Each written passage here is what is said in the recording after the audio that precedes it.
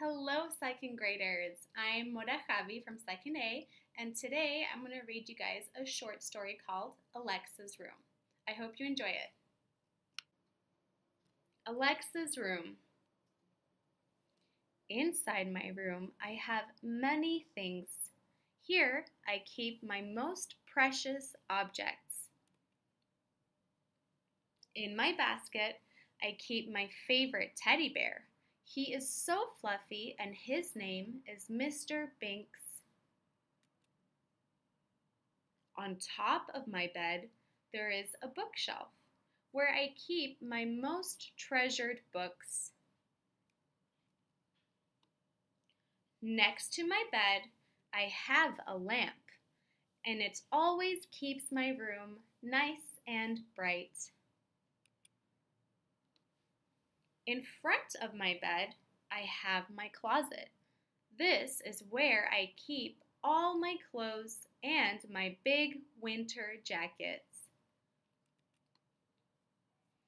Under my bed, I keep my favorite tennis ball. As you can see, these are the many things I keep in my room. The end. Okay, guys, now, that was the end of the story. Let's review some of the story's pages. Let's take a look. Under my bed, I keep my favorite tennis ball. I have a question for you guys. Where does she keep, where does Alexa keep her favorite tennis ball? Can you guys see? That's right, under her bed. Alexa keeps her favorite tennis ball under her bed. And the preposition is under. Very good. Let's take a look at another page. In front of my bed, I have my closet. This is where I keep all my clothes and my big winter jackets.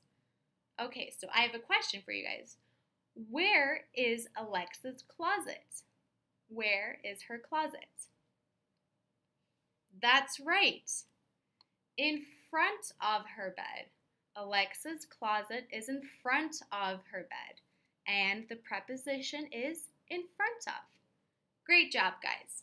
Now, let's take a look at the activity for today's class. Activity. Now, let's write about our own room. So what you guys are going to do is write four sentences about where you keep your favorite things in your room. Make sure to use prepositions and underline them. So just like the story from Alexa, Alexa's room, we're going to write about our own room. Now let's take a look at the at my English copybook so you guys can follow along. Let's see. Remember to always write the date on the top right corner April 8th. Then on the first line, our Walt. We are learning to review prepositions to identify where things are. And of course, our title, prepositions. Okay, so these are my sentences that I chose to write about. Number one, next to my bed, I have a little plant, and my preposition is next to. Sentence number two. In front of my bed, I keep my TV. And my preposition is in front of. Question number three is, my, sorry, sentence number three is, my favorite books and magazines are on top of my shelf. And my preposition is on top of.